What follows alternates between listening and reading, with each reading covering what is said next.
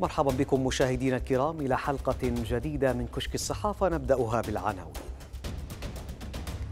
من المواقع المحلية طالبة في إب تحاول تفجير قنبلة في مدرستها عقب مشاجرة مع إحدى المعلمات.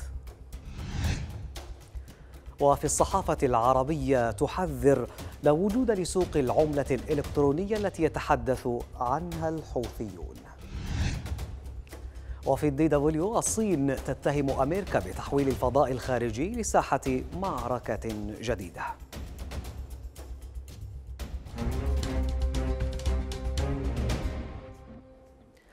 طالبت جمعية أسر ضحايا المجمع السكني في المخا بتعز التحالف بتعويض ضحايا القصف الجوي الذي استهدف المدينة منتصف عام 2015 ويعنون موقع قناة بلقيس أسر المجمع السكني بالمخا التحالف يتهرب من التعويض العادل لضحايا القصف.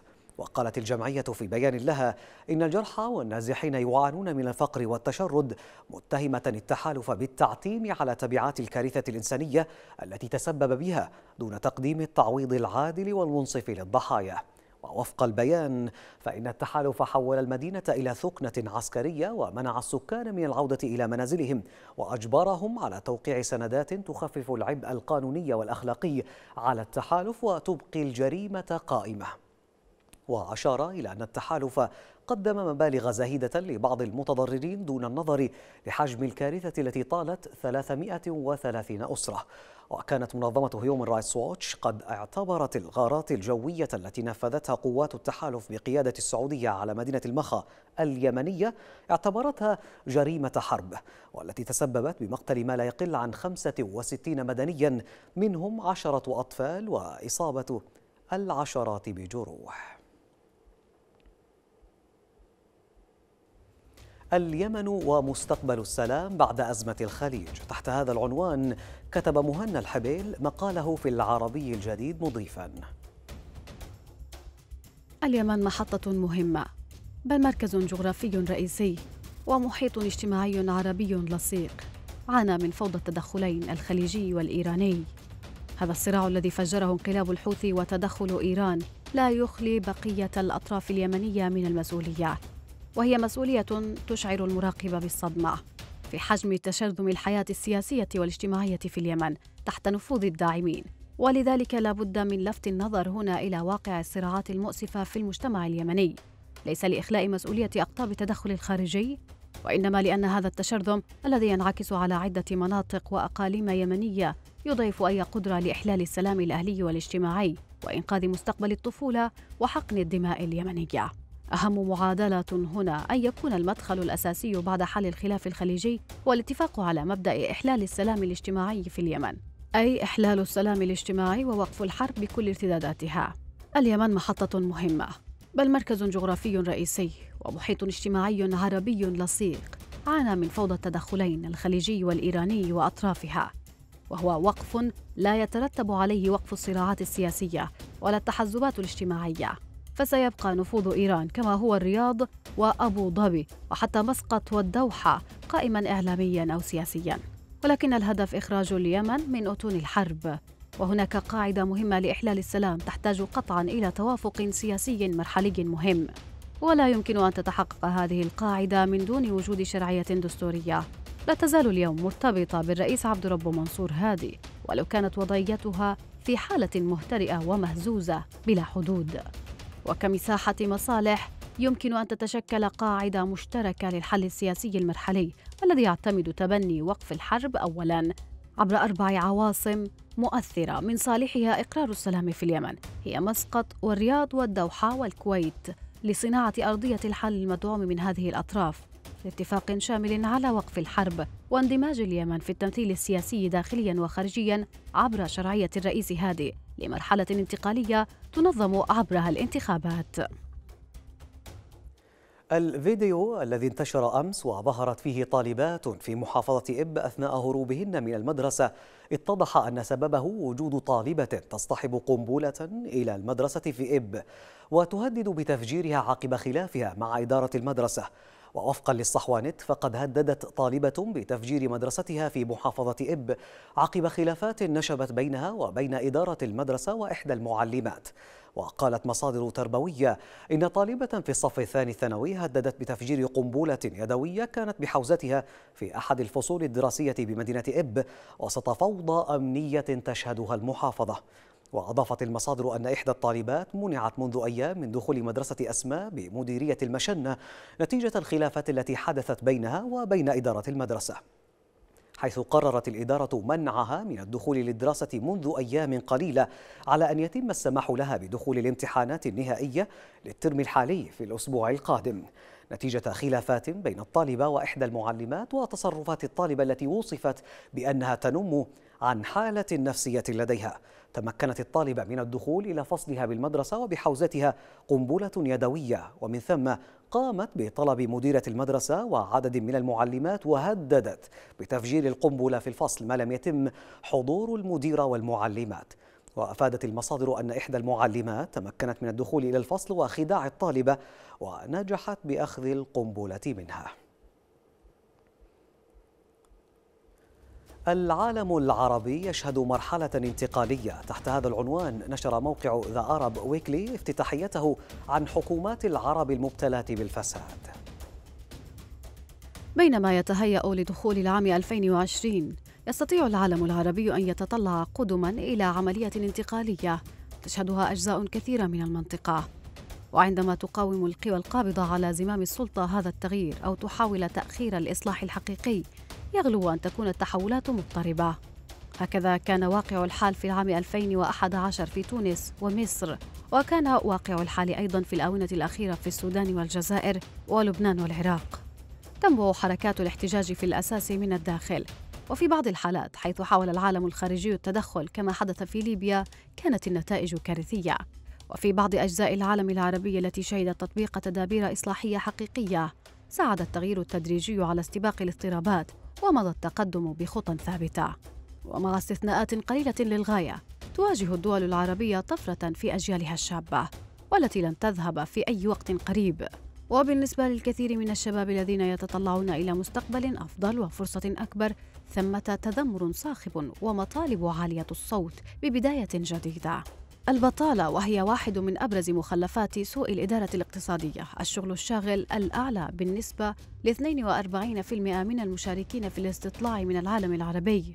ويتفاقم الإحباط من نقص فرص العمل والخدمات العامة الكافية والمناسبة مع سيادة انطباع بأن الحكومات مبتلات بالفساد. مع ذلك ثمة ريح من التفاؤل يمكن تحسسها في الهواء. وتتمثل رؤية المستقبل بالنسبة للأغلبية في المنطقة في قدوم حداثة معتدلة وتقدم اجتماعي ملموس. كما أن هذا الواقع يفسر الرفض المتصاعد للأنظمة السياسية مثل تلك الحاكمة في العراق ولبنان حيث ظلت قبضة النخب الحاكمة على السلطة مدفوعة في كثير من الأحيان بالامتيازات الطائفية. قبل أشهر اختفت امرأة مسنة أو أسست شركة للعملة الإلكترونية بعد أن تمكنت من سرقة ملايين الدولارات وغيرت ملامحها. وفي التعاملات النقدية الرقمية يتضح كثيرا زيف من يقومون بهذه المهمة. حاليا تقوم ميليشيا الحوثي بإيهام المواطنين بأن لديها عملة إلكترونية أو عملة إلكترونية وعليهم أن يسلموا أموالهم مقابل هذه العملة الوهمية. وقد حذرت الصحف العربية من بيع الوهم لليمنيين وعنونت الشرق الأوسط. المركزي اليمني يحذر من التعامل بالعملة الإلكترونية الوهمية للحوثيين. وردا على القرارات الانقلابية الحوثية بشأن منع تداول العملة اليمنية من الفئات المطبوعة حديثا عبر البنك المركزي اليمني في عدن وحديث الجماعة عن اعتماد عملة إلكترونية وهمية. أصدر البنك تحذيرات شدد فيها على عدم الانصياع لقرار الميليشيا وشملت هذه التحذيرات شركات الصرافة والبنوك حيث جاء في تعميمه تأكيدا على أن عدم قبول العملة الوطنية الصادرة عن الجهات الرسمية والمخولة دستوريا وقانونيا تعد مخالفة يعاقب عليها القانون. وأضاف البنك في بيانه أنه إذا ما اتضح للبنك المركزي قيام أو قيام أي بنك أو شركة بالتعامل مع تعليمات غير صادرة من المركزي الرئيسي في عدن فإنه سيتم اتخاذ الإجراءات والعقوبات اللازمة حسب القانون. وطالب البنك من كافة البنوك الالتزام بالقوانين النافذة والتعليمات الصادرة عن البنك المركزي بشأن القواعد التنظيمية لتقديم خدمات النقود الإلكترونية التي تلزم البنوك بالترخيص المسبق لإصدار نقود إلكترونية. وكانت الجماعة الحوثية أعلنت ضمن سعيها لمحاربة الحكومة الشرعية عن سحب الفئات النقدية المطبوعة حديثا عبر البنك المركزي في عدن ومنحت مهلة للمواطنين من أجل تسليم ما بحوزتهم من أموال. وقد وعدت بأنها ستقوم بتعويضهم عبر سقف محدد إما بمبالغ نقدية من الفئات القديمة المتهالكة أو عبر ما تسميه الريال الإلكتروني. يحتاج الفكر إلى التجديد ليتلائم مع تطورات العصر وإذا تأخر عن مواكبته أصيب بالعطالة الفكرية التي تحول بينه وبين معرفة العصر أو الانخراط فيه. هذا ما قاله سعيد يقطين في جزء من مقاله أو من مقاله المنشور في صحيفة القدس العربي مضيفا. منذ أن تنازل الفكر العربي عن اهتمامه بالبحث العلمي وصار يدور في فلك اجترار ما أنجز في عصوره الذهبية انتهى زمان تجديده ودخل مرحلة الجمود التي جعلته نهبا للدول التي جددت رؤيتها للكون فكان الاستعمار وبعده الاستعمار الجديد.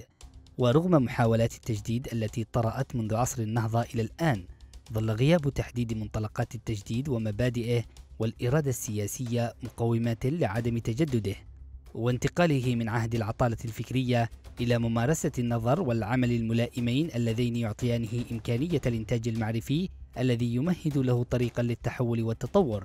لقد مر أكثر من قرن من الزمان على بداية وعي الفكر العربي بنفسه وتساؤله حول واقعه ومستقبله. وخلال هذه المدة كانت تظهر بين الفينة والأخرى دراسات وكتابات تركز على تحديث الفكر العربي وتجديده وتحليل بنياته العقلية والذهنية وسياقاتها المختلفة. لقد تشكل تراث هام ساهم فيه الكثير من المثقفين العرب من مختلف الاتجاهات الفكرية والبلدان العربية. لكن كل تلك القراءات كانت تثير وقتها بعض الجدل أو السجال ثم سرعان ما يتم نسيانها أو تناسيها. لا يمكن أن يتطور الفكر دون تحقيق تراكمات واختلافات ونقاشات تركيبية تستخلص ما هو قابل للاستثمار والتطوير والتعميق. إن تاريخ الفكر العربي الحديث يكاد يخلو من رصد التطورات الطارئة على بنياته وعلى ترهين ما هو قابل منها للنقاش المتواصل والهادئ. إننا في كل حقبة تاريخية رغم التبدلات الواقعة نجد أنفسنا أمام إعادة طرح الأسئلة نفسها ونعمل على التفكير فيها دون اعتماد أي خلفية في البحث. فتكون النتيجة أننا نستعيد ما قيل في مراحل سابقة ولكن بلغة جديدة ومصطلحية مختلفة لكن الجوهر يظل واحدا. قد تتغير المعلومات والمعطيات لكن المحتوى واحد. إننا ندور في متاهة بسبب الانقطاع الفكري الذي لا ينهض على أساس الاستمرار في طرح الأسئلة الجوهرية. إننا نفكر بطريقة واحدة في كيفيات مختلفة ولذلك لا يمكننا أن ننتج معرفة حول واقعنا ومستقبلنا. أضافت الولايات المتحدة الأمريكية فرعا سادسا لقواتها المسلحة بتأسيس فرع القوة الفضائية. هذا الأمر أثار حفيظة الصين التي تتهم الولايات المتحدة بتحويل الفضاء الخارجي لساحة معركة جديدة. كيف ذلك؟ يعنون موقع الدو دبليو الصين تتهم أمريكا بتحويل الفضاء الخارجي لساحة معركة جديدة. وحذرت بكي من أن الولايات المتحدة تحول الكون إلى ساحة معركة بعدما أعلنت واشنطن إنشاء ذراع عسكرية جديدة تحت مسمى قوة فضائية. وصدق الرئيس دونالد ترامب على قانون الميزانية العسكرية لعام 2020 ليصبح لدى الولايات المتحدة قوة فضائية مهمتها ضمان الهيمنة الأمريكية على ساحة المعركة الجديدة هذه في مواجهة التحدي الروسي الصيني. فجاء رد الصين على ذلك باتهام الولايات المتحدة بتسليح الفضاء الخارجي. وقال المتحدث باسم وزارة الخارجية الصينية إن هذه التصرفات الأمريكية تنتهك بقوة الإجماع الدولي أو تتهم بقوة الإجماع الدولي بشأن الاستخدام السلمي للفضاء الخارجي وتشكل تهديدا مباشرا للأمن والسلام في الفضاء الخارجي. والجدير بالذكر أن القوة الفضائية ستصبح الفرع السادس للقوات المسلحة الأمريكية بعد أسلحة البر والبحر والجو ومشاة البحرية وخفر السواحل. وقد قال ترامب في اجتماع مع مجموعة من العسكريين أثناء توقيع قرار إنشاء القوة إن الفضاء هو أحدث ساحة قتال في العالم.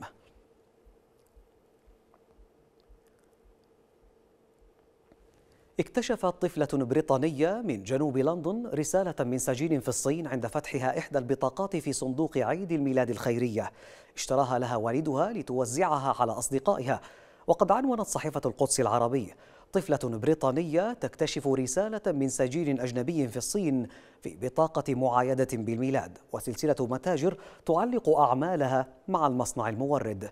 وكتب السجين في الرسالة بحروف كبيرة نحن سجناء أجانب في سجن شنغهاي بالصين مجبرون على العمل ضد إرادتنا. يرجى مساعدتنا وإخطار منظمات حقوق الإنسان. وأوردت صحيفة ذا تايمز أن الرسالة دليل جديد على الانتهاكات الصارخة لحقوق الإنسان في الصين وتحولت بطاقة عيد الميلاد التي تستغيث طلبا للمساعدة من أحد سجون شنغهاي إلى فضيحة وفتحت الباب للنقاش حول علاقة سلسلة متاجر تيسكو بمورديها الصينيين الذين يستغلون السجناء في العمل القسري. وأكدت تيسكو تعليق أعمالها مع المصنع الذي ينتج هذه البطاقات بانتظار تحقيق من قبل فريق خبراء محلي بمجرد عملها بقصة البطاقة أو بمجرد علمها بقصة البطاقة التي عثرت عليها الطفلة فلورانس. ظلم العرب العربية. تحت هذا العنوان كتب سامح راشد مقاله المنشور في العربي الجديد. مات إمام النحاة العرب عمرو بن عثمان بن قنبر الحارثي الملقب بسيبويه ألما وحزنا لما رآه ظلما لشخصه وإجحافا بحقه كنحوي إذ دخل في جدال ضد الكسائي إمام النحو في المدرسة الكوفية حول صياغة كلمة في جملة واحدة. وبعد أن تناظرا أمام يحيى البرمكي وزير الخليفة العباسي هارون الرشيد أقر البرمكي وندماؤه موقف الكسائي الذي كان مقربا إليه. ولثقة سيبويه في علمه وصحة موقفه صدم من موقف الوزير. ثم كانت صدمته الأكبر حين علم لاحقا أن الكسائي قد ألح على الوزير يحيى البرمكي كي لا ينصر سيبويه عليه وأجاب البرمكي طلبه. فأصيب عمرو بن قنبر بالاكتئاب ورحل إلى بلاد فارس واعتزل الناس وغلبه الإحباط والانكسار فعاش مغموما حتى مات. إلى هذا الحد كان الإيمان باللغة وتبجيلها ولم يكن اعتداد النحاة بقدراتهم اللغوية غرورا بقدر ما كان حبا في اللغة وتمسكا بتكريمها وتجنب امتهانها. كان هذا في العصر العباسي أما في عصرنا الحالي فقد كان الأربعاء الماضي يوم اللغة العربية ومر من دون أن يشعر به أحد. وربما يجهل معظم العرب أن في هذا اليوم أقرت الجمعية العامة للأمم المتحدة اعتماد اللغة العربية لغة للمنظمة الدولية وهيئاتها وذلك في العام 1973 بناء على اقتراح من السعودية والمغرب لتكون العربية السادسة ضمن اللغات الرسمية للأمم المتحدة إضافة إلى الإنجليزية والفرنسية والصينية والإسبانية والروسية. واحتفلت منظمة الأمم المتحدة للتربية والثقافة والعلوم اليونسكو للمرة الأولى باليوم العالمي للغة العربية في العام 2012 وبعدها بعام قررت اعتماد الثامن عشر من ديسمبر كانون الأول يوما عالميا للغة العربية. وليس غريبا أن تظلم اللغة العربية بأهلها فقد تخلوا قبل اللغة عن الدين والتاريخ والحضارة وكلها عربية. فإذا هانت هذه المشتركات العربية الأصيلة حق للغة العربية أن تهون عليهم وتهان. إنها سلسلة متصلة فالتخلي عن الدين أبعد العرب عن قراءة القرآن وتدارسه ولم يعد للتاريخ أهمية. فصار منبوذا لا تستحب العودة إليه كي لا يواجه المعاصرون بضآلتهم أمام أسلافهم. ومع انحسار الثقافة وانحدار العلم والعلماء تراجع الاقتصاد وانهارت أمم عربية كانت يوما عظيمة فوقع في قلوب العرب انبهار بالآخرين المبدعين شرقا وغربا. عبر كاميرتين أساسيتين لالتقاط صور الكون تم توفير تصوير أوسع يظهر فيه طول الموجات الكونية. ومن خلالها يمكن ملاحظة الأجسام الكونية في الأطوال الموجية للضوء التي نراها بأعيننا ولكن بمستوى أكبر بكثير من التفاصيل. تعمل رؤية هذه الصور التي سنعرضها على توسيع نظرتنا في الاتجاه المعاكس وتفتح نافذة على الكون المتطور وتتيح لنا إلقاء نظرة على بعض الأحداث الأكثر عنفا في الكون. وقد نشرت الصور وكالة الفضاء الأمريكية ناسا عبر موقعها الإلكتروني.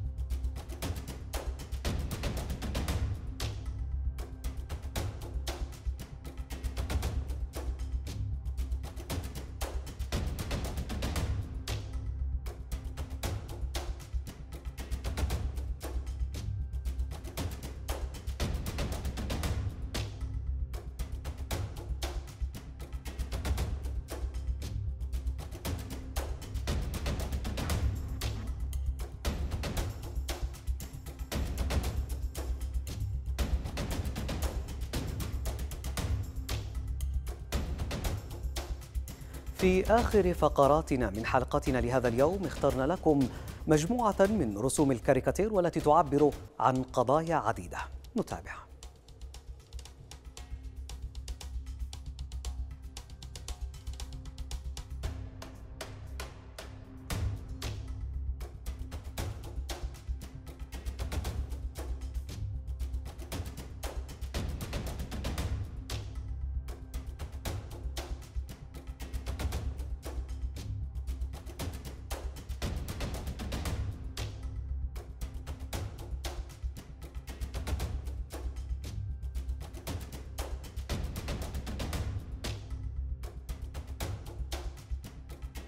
أخبار وصور ورسوم عرضناها وتابعتموها وصلنا إلى نهاية حلقتنا لهذا اليوم من كشك الصحافة. نشكركم على حسن المتابعة. إلى اللقاء.